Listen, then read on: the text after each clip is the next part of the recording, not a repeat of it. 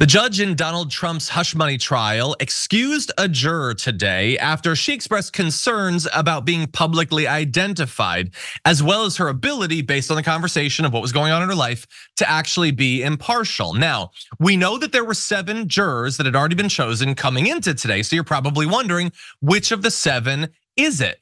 And it's actually someone that you've heard a little bit about. You remember this? Number two. A nurse from the Upper East Side with a master's degree. She's not married, has no kids, and lives with her fiance who works in finance. She gets her news from the New York Times, Google, and CNN. She said two things that really stuck out. One, quote, I don't really have an opinion of Trump, and quote, no one is above the law. I'm not so sure about juror number two.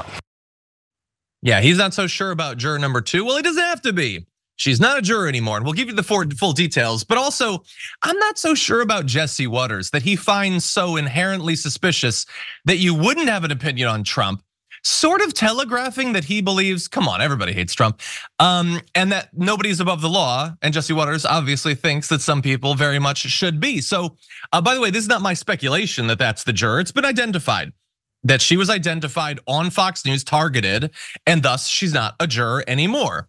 And let's just pause for a second to acknowledge Jesse Watters won. Jesse Watters got what he wanted. And I don't just mean about this particular juror. I, am sure he has since forgotten that she even existed or whatever.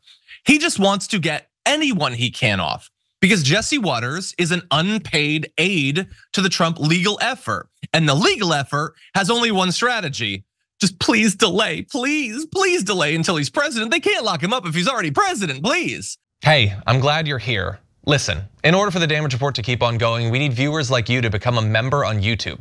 Can you click the join button on YouTube today? Thank you. You see, Jesse Watters, like everyone in right wing media, has absolutely no faith that a case can be made that Donald Trump did not commit the crime. They know that he committed the crime. They just don't want the case to go forward because of how terrified they are of that.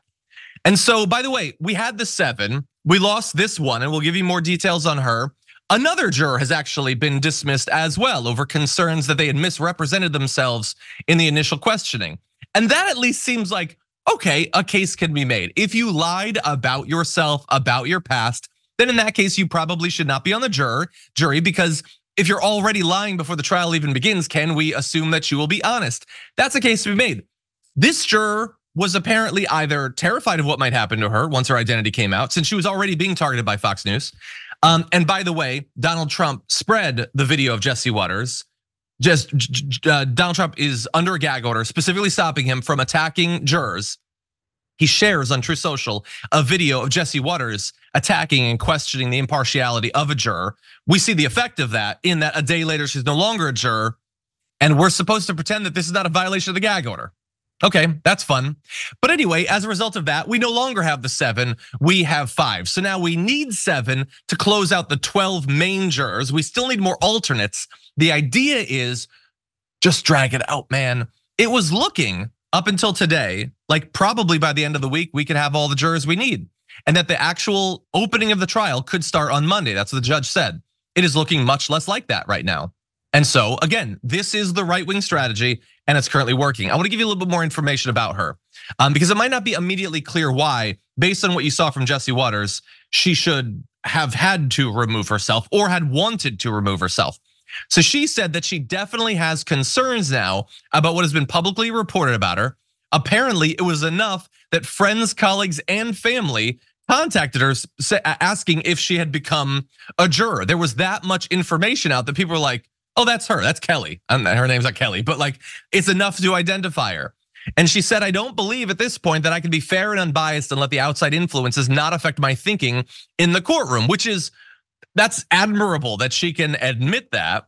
The judge says, We just lost what probably would have been a very good juror, which is obviously bad for the prosecution, bad for justice, I suppose, but good for the accused and likely guilty.